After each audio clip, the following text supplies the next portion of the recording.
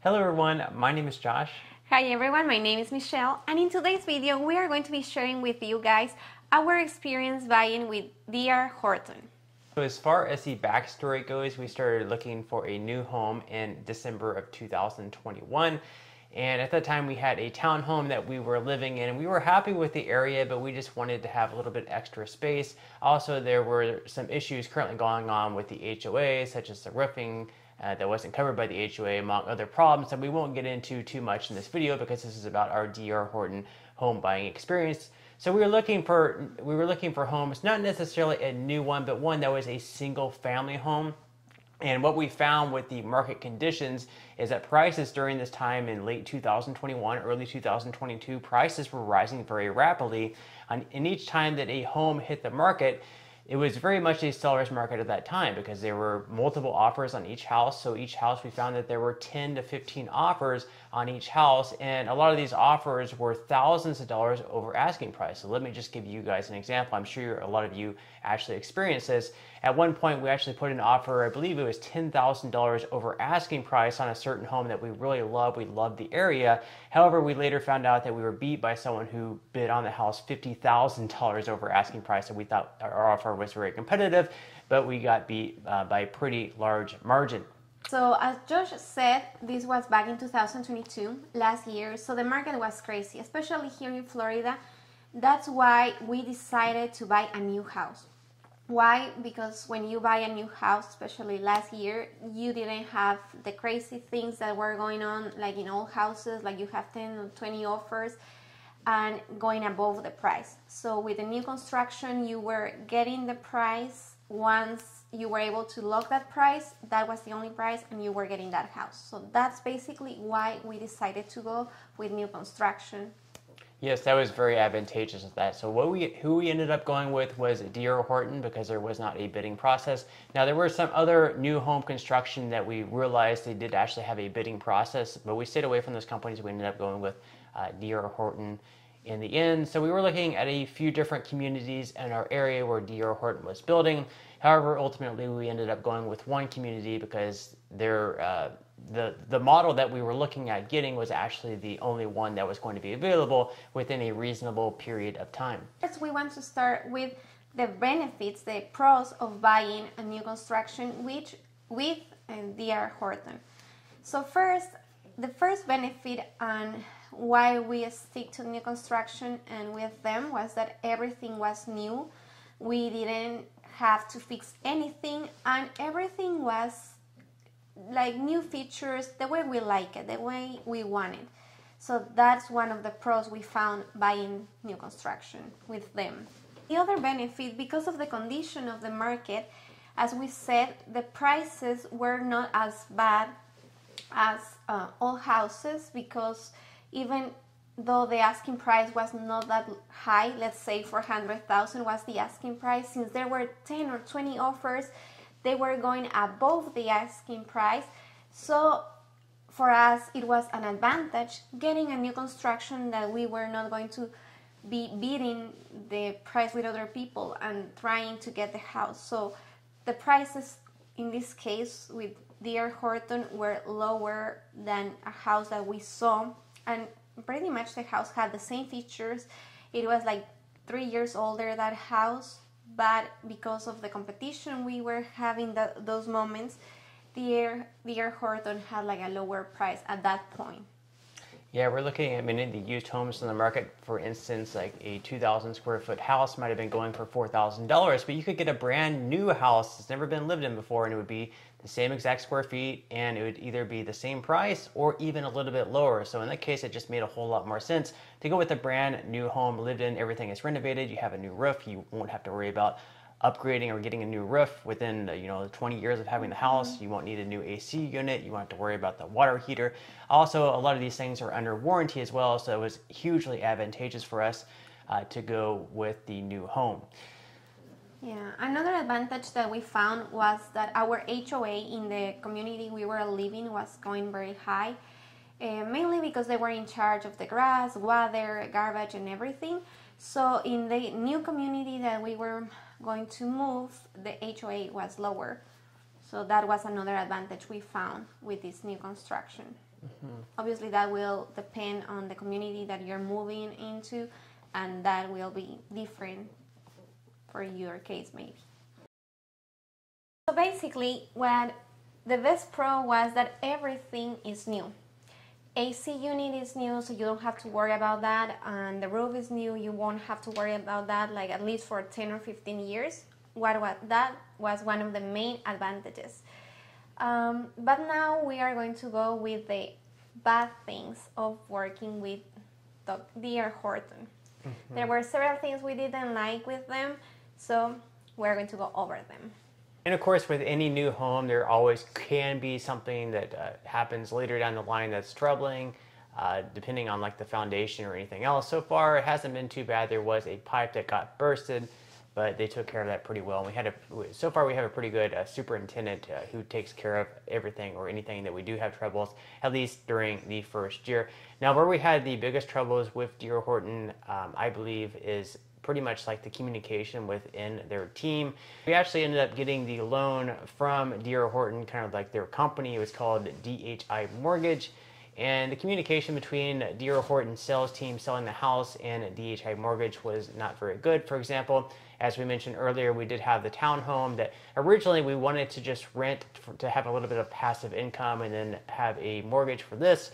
But later down the line, we decided it would be best in our best interest to just go ahead and sell the townhome um, sell the townhome and use those proceeds towards the house. Now, originally, uh, the, the sales team said there would be no problem, and even people in DHI Mortgage said it would be no problem that you could sell the house. It was still going to be months before our house was finished.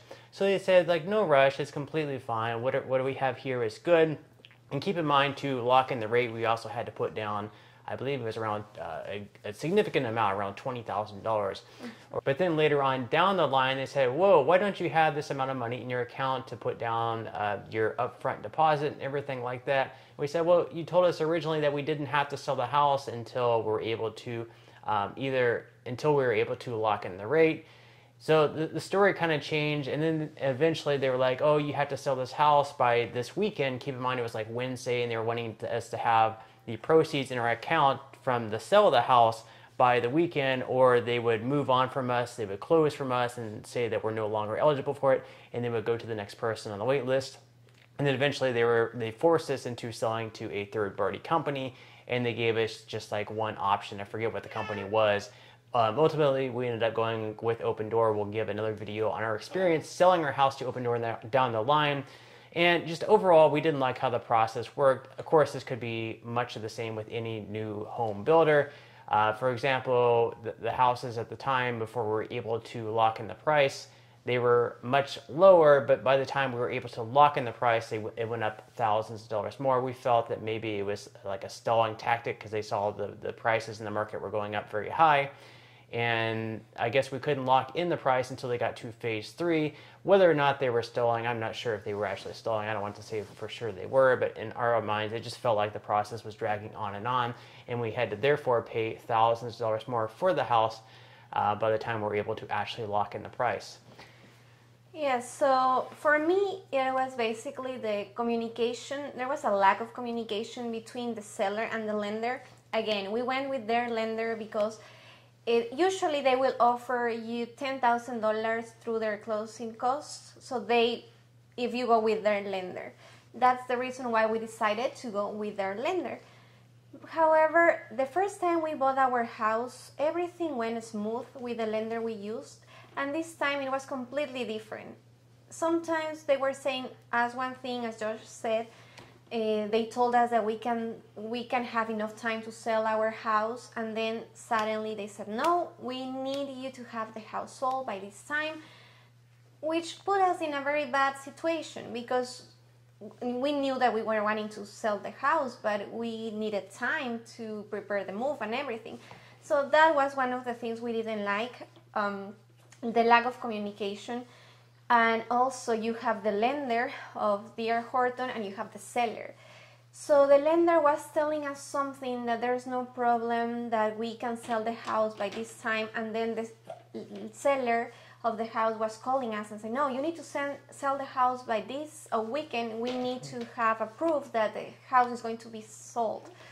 So that for us was too much trouble. And remember, we didn't even know when they were going to give us a new house because these they wanted us to sell the house and they wanted to have a proof that our house was going to be sold. However, they didn't give us a date when we were going to be able to move. So we were in a very tight situation. The whole process for me was chaotic and there was a lack of communication between the seller and the person at sales and the person at the lending company. And at the end, this person ended up quitting, so we had a new person, right? Right. Yeah. It seemed like someone new was taking um, charge like every other day. It seemed like, um, and as Michelle said, the communication was not very good, uh, to say the least. And anytime we actually wanted to talk with anyone within DHI, they weren't giving us like the contact number. They were sort of giving us the runaround and we did not feel all that included in their conversations. We didn't really know what was going on. It was just a very confusing process. So we did not like their communications. Uh, as far as far once again with the the home buying process, um, as we were saying before, um, the the prices kept going up, and finally we were able to lock in the price. I believe it was around February of 2022, and we ended up having to pay thousands of dollars more than what they were going for at that time. So we were a little disappointed in that. And then at that point, we could not lock in our rate until the house was actually completed. So we were waiting for the house to be completed. Now, keep in mind from February all the way through late July, when we were able to finally lock in the rate, of course, the interest rates kept going higher and higher each different month because inflation was very high. So the Fed was trying to deal with that by raising rates. So we ended up having to pay a much higher rate. That's not necessarily uh. Horton's fault because it's not they don't control what the interest rates are going to be but it was just it just made our home buying process a little bit more difficult um, overall. Yeah, and um, another thing, we were not trusting the people anymore because, as we told you before, first they gave us an answer that we can sell our house uh, anytime, and then they wanted the house to be sold by this time. So everything they were telling us, for us, it was like, is this are they trying to lie, lie to us or what? For example, first, we um, you had to, because of how the market was before, you had to go on a waiting list for the house. So we had a house closer to the pool in the first stage of the community, and that was the house that we were supposed to get. However, one day we received a call from the seller, from the person in sales, letting us know that uh, the prices are going high and high so if we want to and they, they are not completing stage three because to lock the price they had to finish to be on, in stage three. So this house was taking longer and they told us like we have another house because the prices were going high and the interest rates were going high so we were feeling very sad. And um, he told us but i have another home and this house is in another stage so it was farther away from the pool. It was in another, it was farther from the community areas. But we decided to stay with that house because it was almost um, getting to stage three, so we were going to be able to lock the rate. But we started looking the first house for 401,000 and this one was 406,000 or something like that, the one that we were able to lock. So at that point, we didn't know if they were just lying to us and they wanted to sell that house that we were wanting before at a higher price to other people. But it was like at the point that we didn't trust the seller and everything he was telling us, we were not sure if they were just wanting to take advantage of the situation, how the market was, and just keep increasing the prices, keep bringing more people. And I think I feel that that way, so I never trusted the seller anymore. Yeah, with all the communication that seemed like they were having troubles um, kind of getting on the same page within D.R. Horton, we weren't really too sure what would happen in the end. I guess our greatest fear is that we would end up selling our townhome and uh, we'd have the contract signed there, giving over to another company or another person, and then D.R. Horton would just completely back out and say that you guys are no longer eligible for this contract, and then we would end up homeless or stuck in a position where we'd have to go rent somewhere Um, and that would obviously put us in a very uh, difficult spot. Um, ultimately, we it did end up going through. It wasn't exactly smooth, but we got through it in the end. Not exactly the ideal situation either, because we felt that we probably could have gotten more from our townhome by selling it on the market versus selling it to Opendoor. We actually got a pretty decent offer from Opendoor, I feel like, um, but uh, that's for another video, of course. All in all, though, we are pretty happy with the home so far. There haven't been any major flaws to the home. Anytime there is any flaws, we can reach out to the superintendent within the first year, and he comes over. He's very good about fixing it. That, of course, could vary community by community, but our uh, superintendent of the house um, has been very good, and we're very happy where we are. Would we go with D.R. Horton once again if we were to buy another new home? In my opinion, I probably would not. I'm not sure about you, but overall, I guess we are, um, you know, pretty happy. yeah, I agree with Josh. The process was very bad, like for the loan and everything.